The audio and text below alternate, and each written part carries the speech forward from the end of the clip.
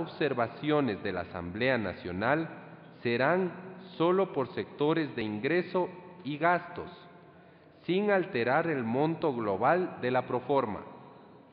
En caso de observación a la proforma o programación por parte de la Asamblea Nacional, la función ejecutiva, en el plazo de 10 días, podrá aceptar dicha observación y enviar una nueva propuesta a la Asamblea Nacional o ratificarse en su propuesta original. La Asamblea Nacional en los 10 días siguientes podrá ratificar sus observaciones en un solo debate con el voto de dos tercios de sus integrantes. De lo contrario, entrarán en vigencia la programación o proforma enviadas en segunda instancia por la función ejecutiva. Hasta que se apruebe el presupuesto del año en que se posesiona la presidenta o presidente de la República, regirá el presupuesto anterior. Cualquier aumento de gasto durante la ejecución presupuestaria deberá ser aprobado por la Asamblea Nacional dentro del límite establecido por la ley. Toda la información sobre el proceso de formulación, aprobación y ejecución del presupuesto será pública y se difundirá permanentemente a la población por los medios más adecuados.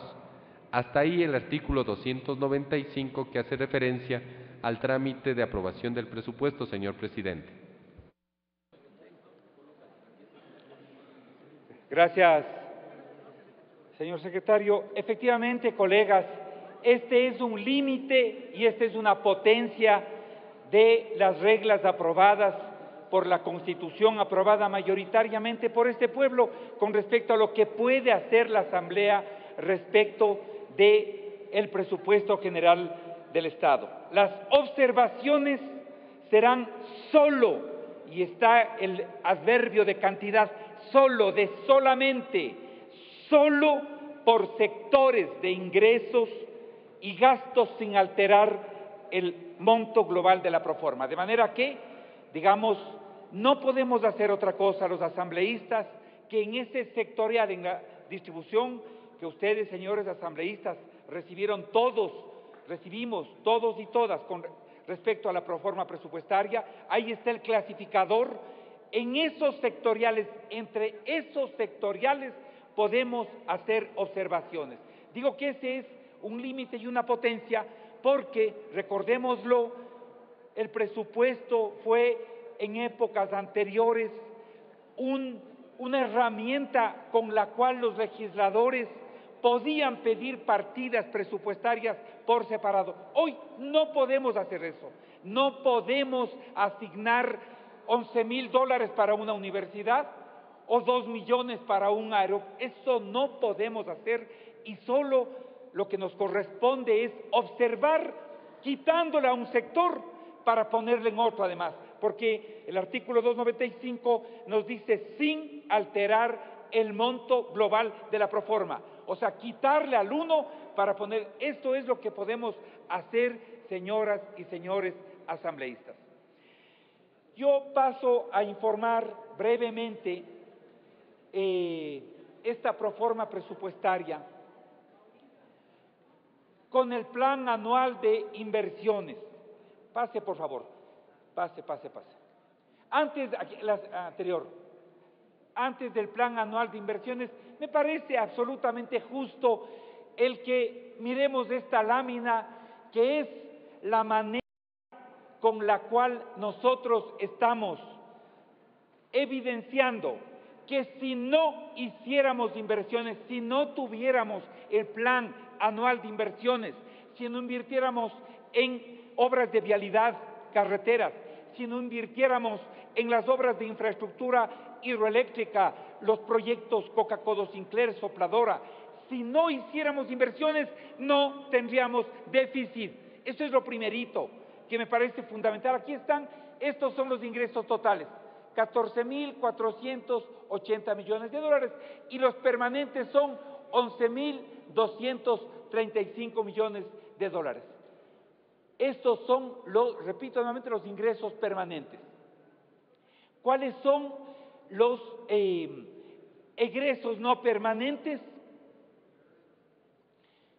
10.865, si nosotros, 65 millones de dólares, si nosotros restásemos esa simple operación aritmética, los ingresos permanentes, los ingresos permanentes de los egresos permanentes, tendríamos un superávit de 369 millones de dólares. No tendríamos eh, déficit y no tendríamos por qué disputar ningún otro tema que no fuera la aprobación de esta proforma presupuestaria. ¿De dónde proviene esto que se llama el déficit? Proviene de los planes anuales de inversión que necesitan financiamiento. Ese de ahí, ese es el déficit. Pero como país tenemos las cuentas, ustedes tenemos las cuentas saldadas, inclusive con un superávit de 369 millones de dólares. Por lo tanto, creo que es fundamental, ahora sí, retorne por favor, creo que es fundamental regresar al plan anual de inversiones. Este es el que necesita financiamiento. Y respecto del año 2010, en el 2011 crece de 4.098 millones a 4.692 millones, o sea, un incremento de 593 millones de dólares. Eso implica, en este gráfico de las barras, un crecimiento del 14% del plan anual de inversiones 2010 respecto del 2011. ¿Dónde va este plan? ¿En qué se, ah, eh, cuáles son los rubros? ¿Cómo se desagrega este plan anual de inversiones? En desarrollo social, 27.2, que es el más alto además. En los sectores estratégicos, 26.21%. En el sector productivo, 22.28%. Ese es el desagregado.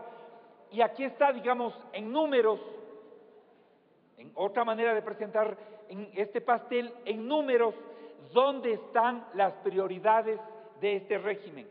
Obviamente el más grande el del desarrollo social, 1.267 millones de dólares, los sectores estratégicos, 1.299 millones de dólares, la producción, 1.045 millones de dólares.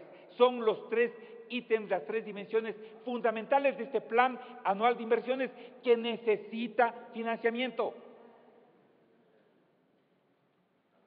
Este es eh, dónde está, qué es desarrollo social, es el desarrollo de capacidades humanas, este es el porcentaje, es protección social, es vivienda y saneamiento ambiental, desagregado con números, lo que significa el desarrollo social, el principal ítem del Plan Anual de Inversiones, que es la soberanía energética y el cambio de matriz, el de que dependamos menos de la importación de combustibles y que dependamos menos de la provisión de energía eléctrica proveniente de los países vecinos.